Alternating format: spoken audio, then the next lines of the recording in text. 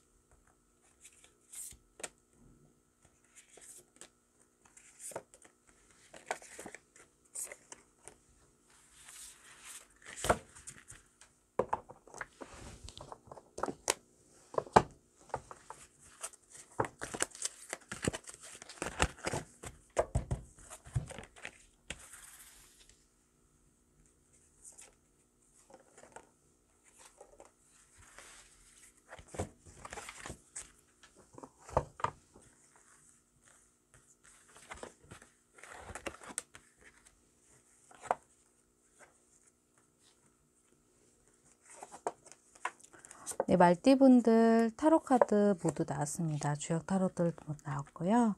저는 오라클과 같이 지금 섞어서 보고 있습니다. 예, 6월 한 달 동안의 흐름입니다. 음, 아직까지 습관을 크게 개선하지 못하신 말띠분들이 많으세요. 그 부분이 아, 큰 일을 하는데 방해가 되고 있어요. 혼자서 나아가는 부분에서는 음, 크게 장애물은 없겠지만 이 부분이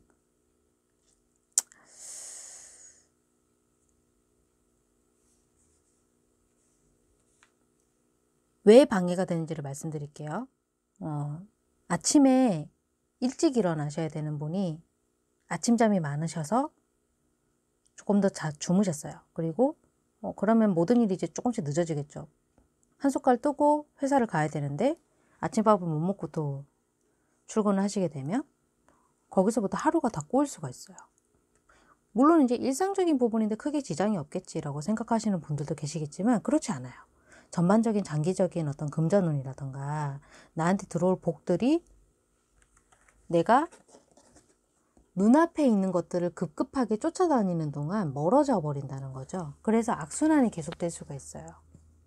악순환. 이 악순환은 결국 나의 습관을 개선하지 못한 부분 때문에 벌어지는 일들이죠. 내 안에 있는 나를 깨우기 위해서는 반드시 이 습관을 개선을 하셔야 되세요. 그리고 큰 일을 위해서는 나의 작은 것들을 희생을 해야 됩니다. 공짜는 없습니다. 이 세상에. 가만히 남이 해주는 거를 받아서 드시고 계신 분들. 생활비 벌지 않고 그냥 인양저냥 그냥 시간만 보내고 계신 분들. 언젠가는 되겠지라고 안일하게 자신의 삶을 그냥 흘려보내시고 계신 분들. 특히 말띠분들 중에 그런 분들이 계시다면 정말 이번 5월 중에 이 운세 영상 보시면서 반성을 하셔야 될 것 같아요. 오는 다시 말씀드리지만 그냥 기다리는 사람에게는 행운을 불러다 주지 않습니다. 좀 현재 상황은 좋지 않아요. 조언을 뽑아봤는데 현재 상황은 크게 좋지는 않습니다.